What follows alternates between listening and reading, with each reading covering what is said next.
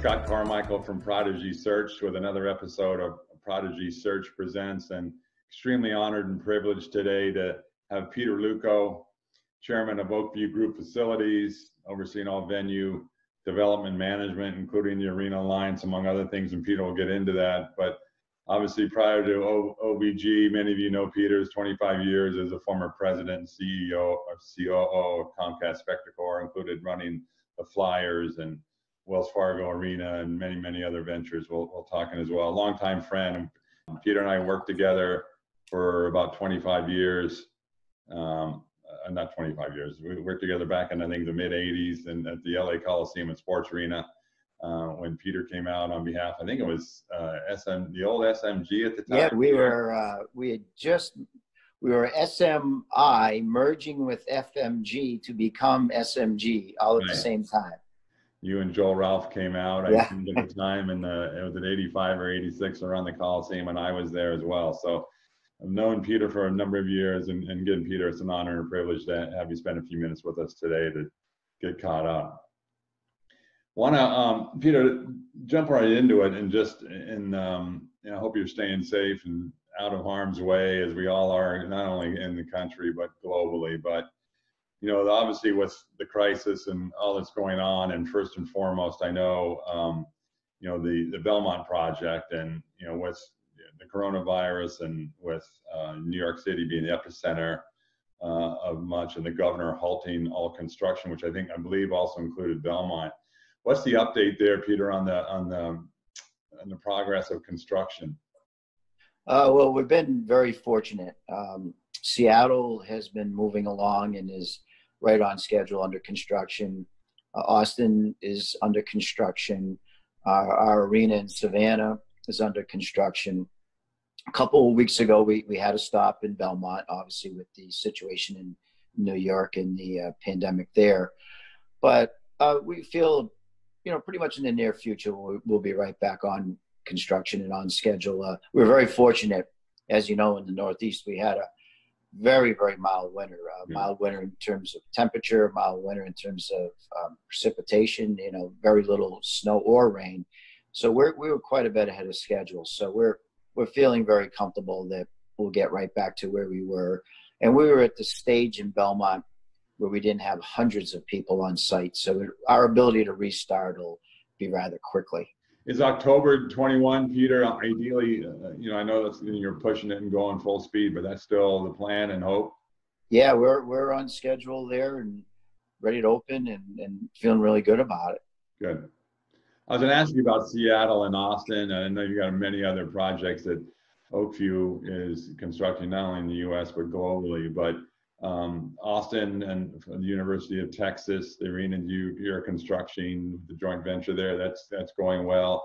Um, and you mentioned Seattle. You touch on those a little bit in terms of progress and timing. Yes, Seattle's really an engineering marvel. Uh, as you know, we're keeping the iconic roof in in Seattle, and uh, it's quite a project. We're, we're literally uh, the roof was hanging in the air, being supported by steel beams that will be taken out and not even used in the project. Um, and and it's really going to be a special project because the the arena itself, if you've been there, it, it really fits right into the neighborhood, and you can almost drive by it uh, and not know it's there. So uh, we'll we'll maintain that. We're we're digging down even deeper. Um, to uh, obviously turn it in from more of a basketball configuration into hockey. But you know the way that that facility will will fit into the neighborhood, the way that there'll be, you know, a, special tram right to the site. Uh, it, will be an incredibly green building, uh, and and we're really really proud of it. And obviously the sales have been tremendous. Oh, uh, yeah. I mean, Tod Leiweke and, and his team, I mean, there's a massive waiting list for seats and the premium's going well and, and the founding partners and the like. So, uh, yeah, that's, that's a, it's always been a great hockey market, right. you know, back to the, the, the days I know this, the Supersonics were such a big part of the community, but they've got a great junior hockey and, and actually pro hockey history. So that's, that's really cool. And then, then in Austin, a joint venture with the university and uh, you know music in Austin and uh, you know, there really hasn't been a first class arena in Austin. And uh, with Live Nation being a, also a partner in that deal, as is Seattle, um, we think it's it's going to be a great great setting right on the campus. University have you know the basketball teams will be there in university sports, but as well as a lot of music, a real real music venue. And and the opening Austin, I'm sorry. Go ahead. What, go ahead. What's that? So the opening, the, the, slated opening date for for the arena is is it 22? Yeah, 22. Yeah, more the spring. Okay. Um, and I know Seattle was hit pretty hard initially too with COVID 19, and I don't know if that slowed things down a little bit as well. I mean, we're all faced with that, but. Yeah, but you know, we, we were able to, to move through that and react quickly with a plan uh, to to you know make sure that the, the workers were on site were safe and spaced properly. Um, so the, the crew there did a, just an outstanding job. So we thankfully didn't really miss a beat there, which is which is important because obviously we want to be open and ready for the season. Right. Going back for a minute, Peter, in, in terms of um, the coronavirus and the arenas, and I know Oak View came out um, pretty vocally in terms of, a, a, I think it was a division, um, that a permanent division, it, it's being launched in terms of arena safety, um, cleanliness, you know, air purification. Can you talk a little bit about that? Because I know you said you know you're busier than ever. Um, you know, as you establish that coming out of that, making sure all the facilities that you're not only building but managing are meeting those specifications. Yeah, I you know, to Tim's credit, I uh, I, I don't you know I, I think we had hadn't shut down. You know, it seems like ten minutes, and he called me up and said, "Listen, we you know this is something that we've got to get involved in. Uh, this is an opportunity." Opportunity to really be on top of the situation and open up our our arenas you know even sooner than than maybe some would think we could because we'd be on top of it and have a plan.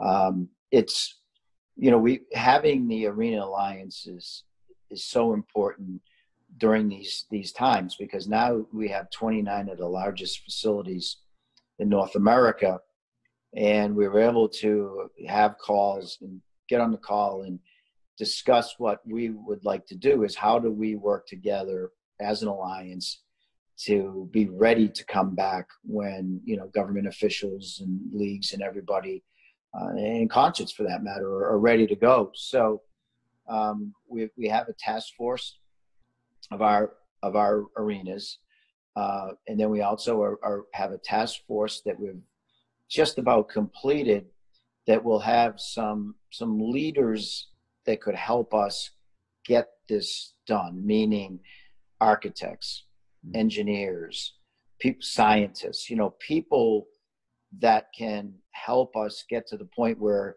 certain applications or or capital improvements that we would put into say air handling units or other areas could be tested to make sure that they actually you know help prevent this virus um, in arenas. So so you, you need the arenas and we're the operators.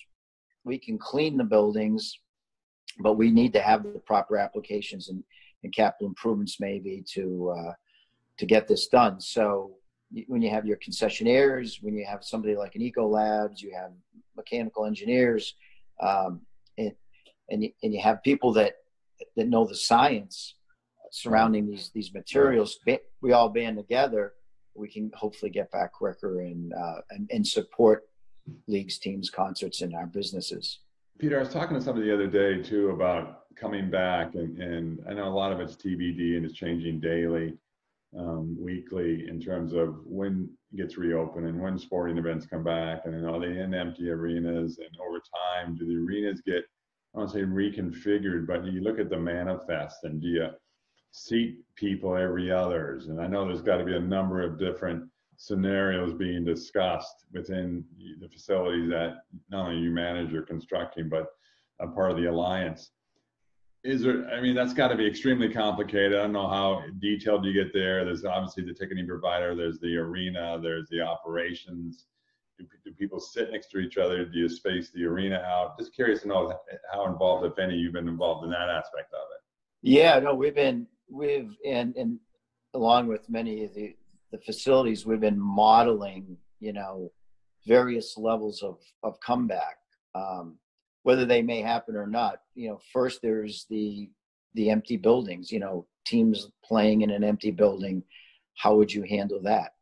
You know, and by the way, when you play in an, in an empty building, you know there's you know probably going to be some 300 people or so in that in that right. facility right. to produce that event with you know you think about it you know players coaches tv you know some security um, you know off ice officials so you, know it's it's quite a crew that would be there then you then you look into the spacing uh, i think that one's very difficult personally i, I think I, I, you know how do you tell which season tickets holders can come and not come yeah. you know what artist wants to play before you know a third of the house um, but we're modeling it you know because if somebody says this is what we would like to look at then we're going to be prepared to look at it. And then obviously most importantly being prepared to come back to work in a full full bowl.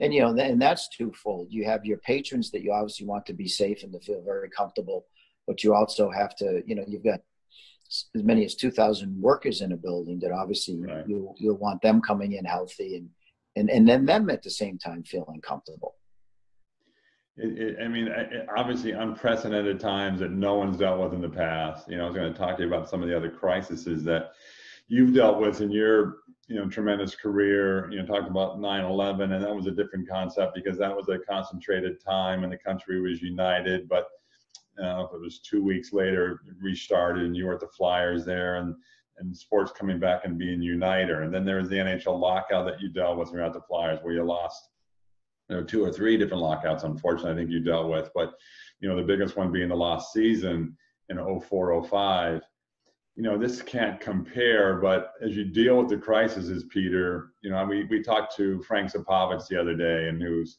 been around in the event business and running both nhl mega events and NFL Super Bowls and so forth and dealing with some of those things. But you know how I mean again unprecedented, but how would you rate as you're dealing with this versus some of the other crises you've dealt with in your career? Well, you know, you know, it's interesting. Uh, obviously, this is a worldwide pandemic. I, you know, I, I don't think, you know, this is a generational pandemic. Um, this is something that that hopefully, you know, will never happen again uh, and and if, as I, as I mentioned, affects the world. I mean, my, my first crisis was making a run for it in the LA riots oh, in Los right. Angeles, and and right. actually having the LA Coliseum and Sports Arena become a literally a military base for six weeks. That's right. Uh, that through 9/11, and then obviously the lockouts. Um, you know, and I'm sure Frank mentioned this. You know, you deal with whatever presents itself, mm-hmm. right? And I and I think, you know, if if you use common sense and you're thoughtful and see the task at hand and see what the issues and maybe the obstacles are to coming back, uh, you just you just deal with it. And you know, you mentioned 9/11, and I remember one of the issues of the day, and it was horrific and obviously centralized to to New York. Uh, but the you know the issue of the day was, if you recall, Scott, will people go to sporting events? Will uh, will they go to concerts? Will they go to restaurants because they'd be afraid of a terrorist mm-hmm. attack? Right. Um, and you know, the answer to that was probably when you know George Bush threw out the first pitch at the World Series. It was you know we're we're Americans, we can overcome anything, yeah. Yeah. And, and I you know fully believe that that's g- going to be the situation here that people are going to want to go out they're going to want to go to events uh, they're, they're they want people want to socialize. That's who we are. But also, I believe as an industry, and when I say industry, I mean the arenas, the leagues, the concert producers, everybody. We're going to have to obviously work together to, to, make sure that that our patrons are comfortable and we're providing a safe environment. So, uh, totally unprecedented. But I think along the way, some lessons learned from the more what I would call more isolated situations and very unfortunate and terrible, but uh, but at the same time, you know, we, we, all learn something from all of them. Yeah, no, it's going to be interesting. Again, what you know, I as I sit where I am and have been around the business like you for a number of years, but some of the things that not only you bring up here, but Frank in our discussion, you don't even think about. Uh, you mean you think about yeah. the ingress and the wanding yeah. and the security and the restrooms and you know all the things that, that you're not undoubtedly spending your days on uh, planning accordingly. is just overwhelming, I'm sure, in many instances as you, you prepare for that. What well, as you, you know, as you walk through the steps, Scott, right from from when someone enters the parking lot, right through they till they get to their seat, and then stay in the arena for their for their game for the game of the concert.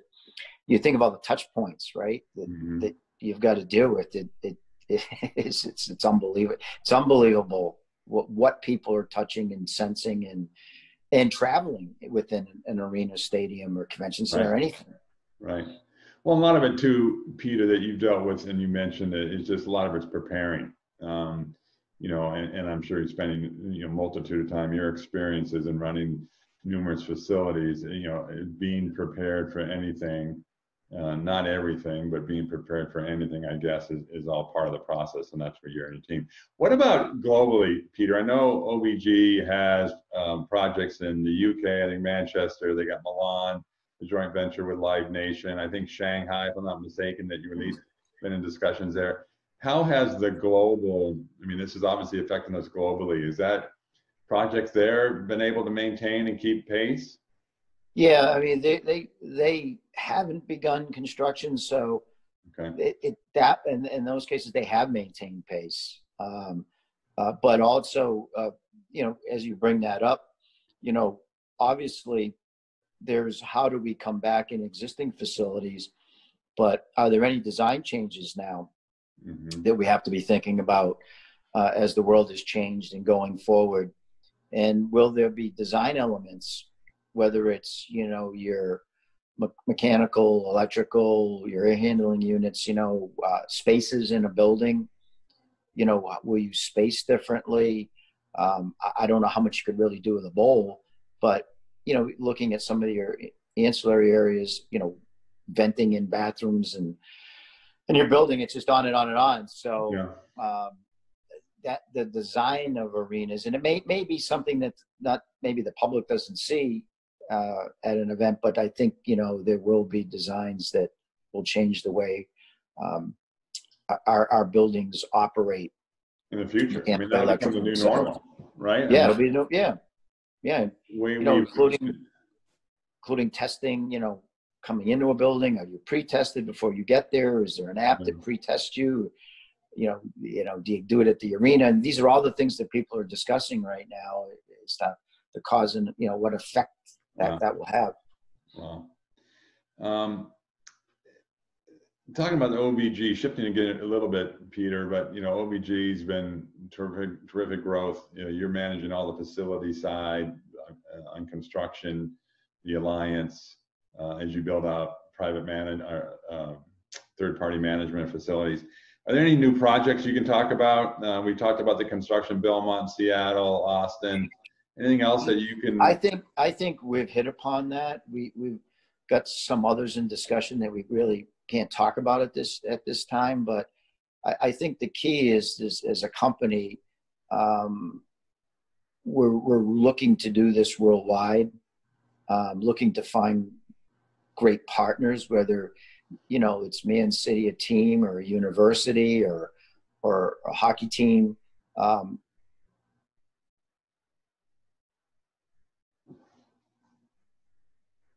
started the companies and then the support in many ways we we get incredible support from live nation is the real belief in music.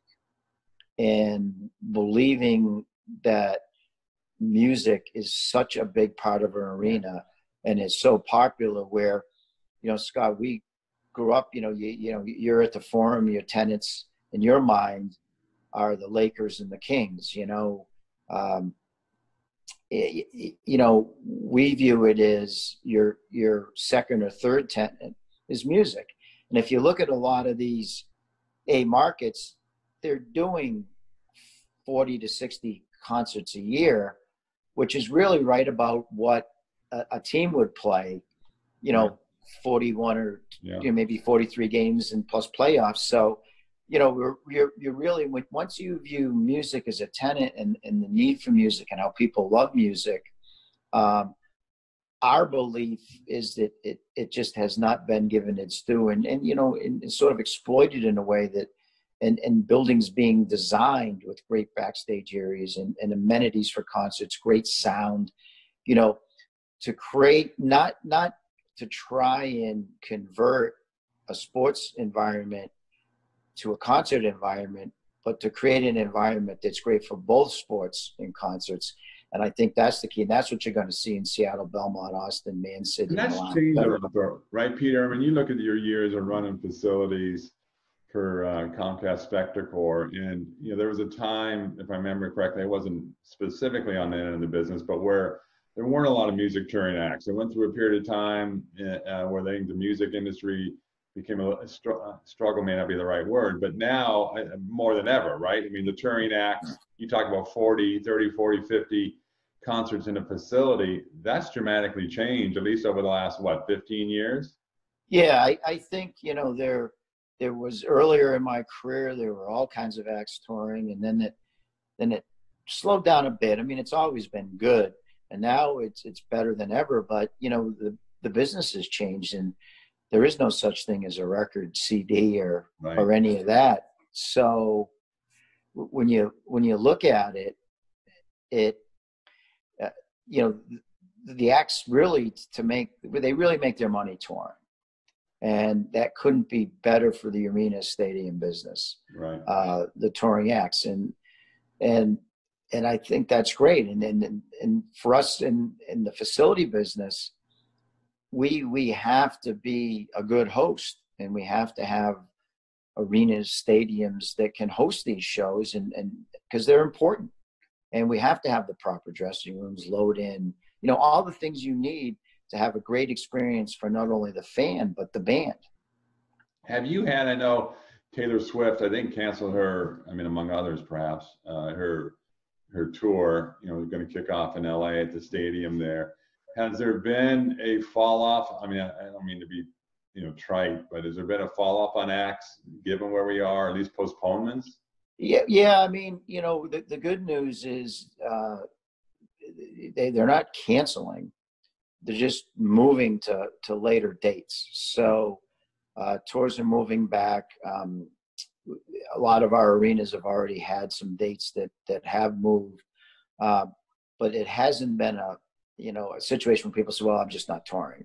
It's like, right. okay, let right. me just move the dates to to when um, when we come back. Now, you know, unfortunately, you know, we don't have a date when we're coming back. But mm-hmm. uh, the good news is um, eh, the industry has been so strong that, that, that people are just looking for that signal and time to get back in business. that's the tough part, right? You're gonna have to juggle all the scheduling between the leagues and where yeah. multi we have NBA, NHL shared facilities, uh, where the scheduling is just going to be a, a, you know a, a, big challenge where you reschedule both the, the, the, the, leagues as well as the acts and things yeah i, I think you know and, and we've seen this already and again there's so many unknowns that but we, we, the leagues and the shows everybody's been flexible because everybody appreciates the severity of the situation so you know, and, and it goes to tell you something about people. Like when things are at their worst is generally when they're at their best.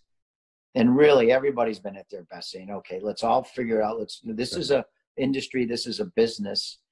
How do we get back to, to our normal time? So it's, it's, it's actually been enlightening to see how everybody just wants to hit you. Good. Shifting gears, but I want to take a, a ton of your time, Peter, because I know you're busy, but for those that are unaware and, and those that may tune in and, and, watch this on our YouTube channel, talk just briefly about the OVG uh, business units. I think there's six or seven business units now yeah. OVG, um, and perhaps even expanding, but from the facility side to the global partnership side, et cetera. Yeah, so you know um, we've talked enough about the facilities division and and our development side, but you know we're we're we're the only company that actually has a, a development arm and um, that can actually, you know, finance a building, uh, find the funding for that building, and and you know under Steve Collins and Francesca Bodie, that you know Steve oversees all of our projects, all, all the construction. There, there is nobody that really has that that construction procurement, the ability to develop, the ability to finance a project, and mm. and that we're very proud of. So, aside from myself and others who are operators, we have the people with the skills who can can do much more than that, and procure the financing and, and, and build the buildings. Um, global partnerships really uh, supports uh, our sponsorships and the premium that, that it takes to build an arena, uh, naming rights, you know, selling the premium, and the like. And that's obviously very, very important. Then supporting our arena alliance. Um, you know, one of the, the facets of the arena alliance is as we provide sponsorships and, and help them secure more shows was to get non-traditional sponsors. Mm-hmm. And as you know, everybody has a, you know, they have a car deal, a beer deal, a soda deal, a financial deal. They, these big arenas, they operate well, they know what they're doing. But for Dan Griffis and his crew to, you know, to, to get Walmart, right, to get a PetSmart, to get Belkin, to get Zoom, by the way, uh, you know, and which obviously is has been very important during these trying times. Yeah. To, to get these non-traditional sponsors to arenas, um, you know, obviously it's just fantastic to find a new a new rev- revenue source for those arenas, but also it's really something that that hasn't been done is to aggregate 29 buildings and say, okay, Walmart, you know, we can put you before 72 million people, plus use the assets of this of their social media data, et cetera. So it's you know it's probably double that. Um, so that that's what what Dan and his group does and then Mike Downing, uh, who formerly was the uh, in charge of anti-terrorism unit at uh, LAPD, is our preventive partners, um, which which is interesting in, in, in these times. Um, but you know, and, and Mike's group works on obviously the, the latest security issues in the world, disseminate that in, information to our industry, but also working to help facilities uh, become eh, with the, the Safety Act and, and to be compliant there uh, and, and, those issues. And now, as we get into this, Mike will be an important player as we even look as how we're going to not so much clean buildings, but provide that environment in terms of the various monitoring devices. Mm-hmm. You know, we're looking at the thermal devices, as I was mentioning, and, and other types of things. Uh, Mike, Mike, he's got the best intelligence literally in the world, and, and, and a big part of that. And then, um, you know, our, with Pollstar, our, our conferences, uh, very, very important to us. Um, you know, really, our idea was to help, you know, have a very meaningful publication. You know, Pollstar has been a tradition; it's been fantastic. Uh, mm-hmm. You know, uh, Tim early on felt it could do more, uh, and then and then obviously, you know, the Pollstar conference venues today. Um, the speakers we've had at these conferences conferences have been phenomenal. You know, oh, yeah. leaders in the industry, and we need that forum because as big as we all think our industry is, because we've grown up in it, um, it's a relatively tight knit group, and when we come together, it's got to be meaningful. That it, it just can't be, you know, the same as last year and you know, and you know, you've been around. You've done a great job of that, Peter. And one thing my biggest complaints, with all due respect, is that many of the conferences in this industry is so redundant.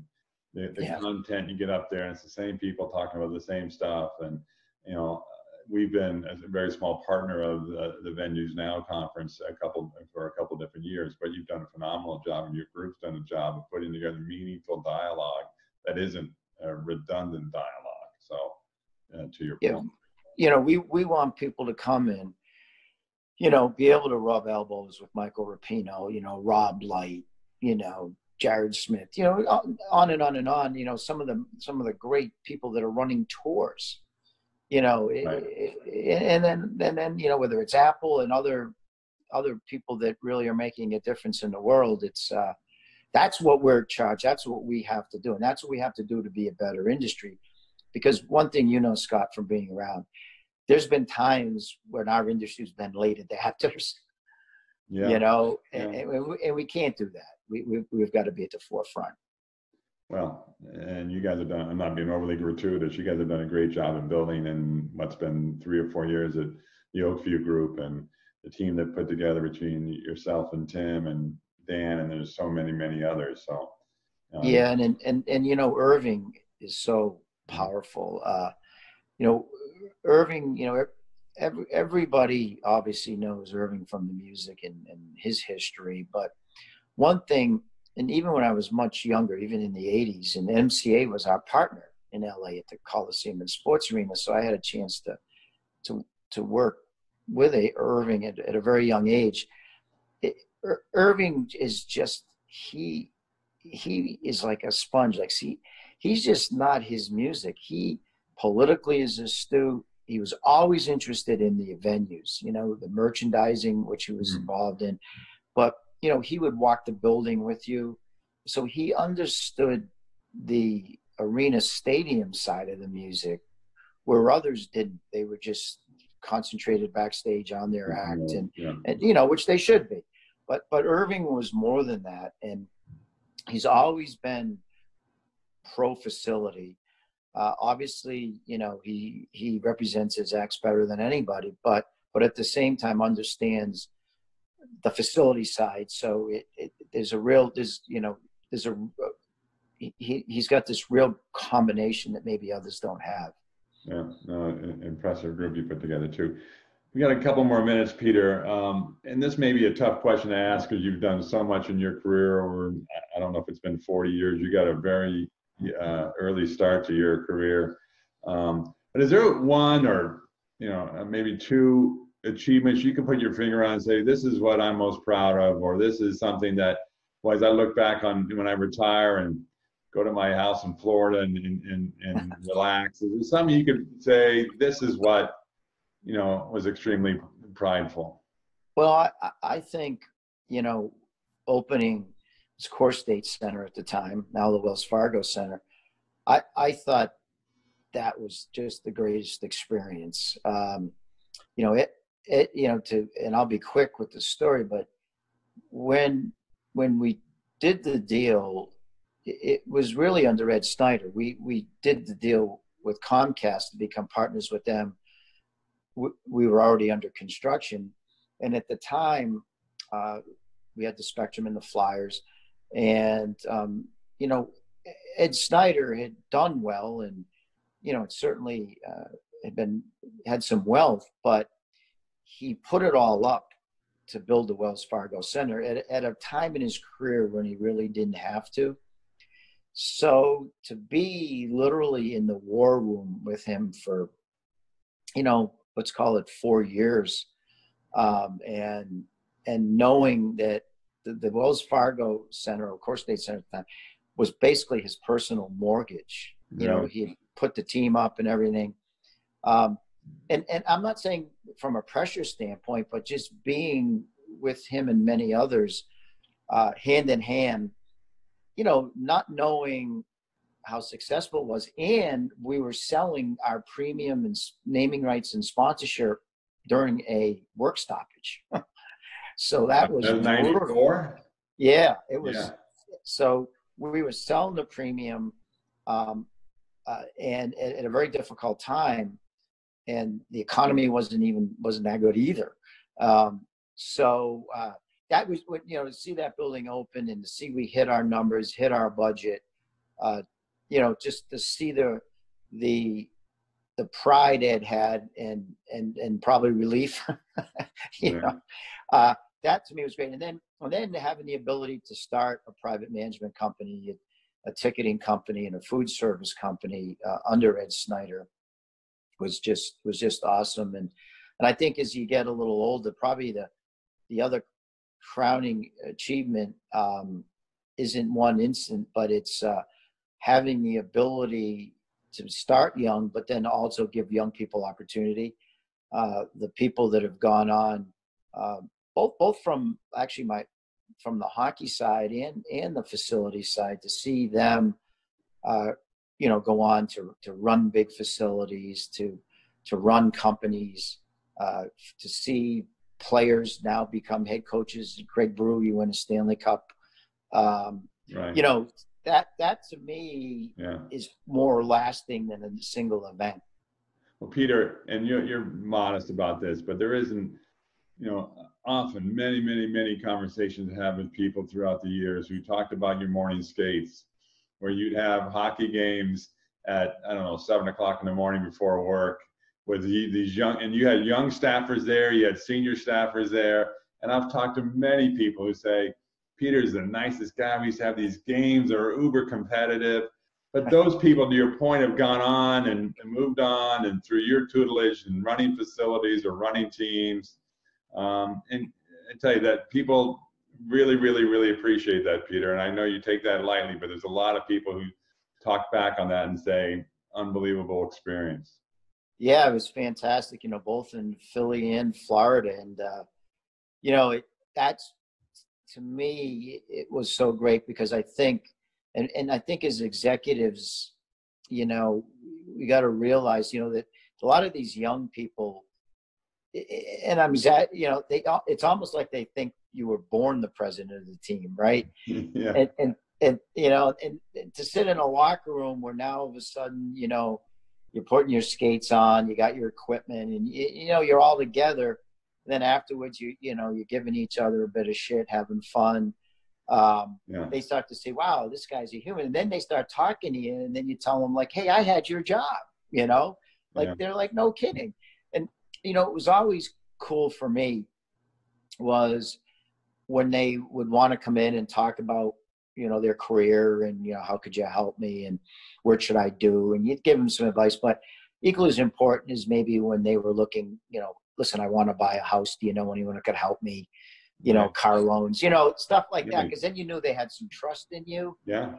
Because I, I I've always said that the more the bigger your organization gets, the more you realize you work for the people they don't work for you and, and if you can realize that yeah, that you're right. there to support them you can be successful if you if you think you're just boss uh, you got a problem. Peter, and look, as, as recruiters and when I've segued into my career over the last 13, 14 years, every project we work on is about, you know, what's the culture of the organization, right? And, and who the people, as we talk to senior executives about an opportunity, well, what's the ownership like? What's the senior leadership like? What's the culture like?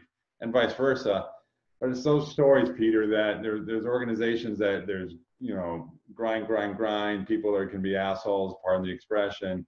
But to your credit, I mean, you've got great demeanor, great people skills, great leadership skills, and it says a lot for the kids to come in and ask you about car loans or home loans because that means that you're a good leader and you don't sit in the corner office and tell everybody, you know, don't come in here. Yeah, the worst, the worst is do more, and and and I'll you that's that's what is so much fun now with OVG because you know Tim has you know was a similar unbelievable experience on the West Coast and everything that he did, and then and then Irving, you know what what he's done and this, and we're all sort of the same ilk, you know. It's about the people. You know, we don't make anything. People do great things, and you lead people and uh, work with people. But the people are going to be the accomplishment, and and you know, and, and Tim's very passionate that way, and that's what's been so much fun about working with him. Is he really, really cares about people, and obviously I feel the same way. Um, you know, and and he wants to see everybody succeed because he's also at that point in his career. It's not. It, it, it's about the. It's a. You know, it sounds cliche from the team side, but it really is about the team. Yeah. And the people. Like it, mm-hmm. if if people are dreading going to work, you can't have any success. It just can't happen. If it's a if it's a job, you're done. Um, well, it's passion, and it's all all the things. We could talk a long time about that, but it's it starts with leadership. But it but I talk about all the time with with people and candidates. If you're lucky enough to work in a job that you have a passion for, and you wake up in the morning and you love to go to work, and you can't wait to get to work because that's the environment, that's the industry you're so far ahead of everybody else, and and that's so critically important in anyone's career. So. You know, yeah, no, it's it's it's great. And listen, you know, you've got the varied experience. I I think that's what what makes you successful at what you do in your company is that you've been there, right? You've been in the trenches, you've been in the business. Um, you know, it, it, you know, there's other other firms maybe that you, you, you know you don't you don't really want to hire a resume. That's the most dangerous thing you can do if, yeah. if you're on the other end. And if you can ferret out based on your your experiences and your knowledge, and and you know, so you've paid the price to build a business based on knowing the industry and, and the needs of your your clients. Um, so that's where I think the experience factor comes in, and that's you know, I think young people are brilliant today, smarter than ever, frankly. But there is there is that experience factor too that you have to gain over time to be really really successful. Well, Peter, we could talk for a long time, and yep. I've always enjoyed. You've been a great friend, and, and frankly, have been a mentor of mine uh, just throughout my career and our times that we've touched. So I can't thank you enough. I wish you continued success. Trying times for us all. So I know you got your challenges, but stay safe first and foremost. Hope the family's well uh, and out of harm's way. And I look forward to talking to you again really, really soon. But thanks for your time. Sounds good. Thanks. Thanks, Scott. Thank you.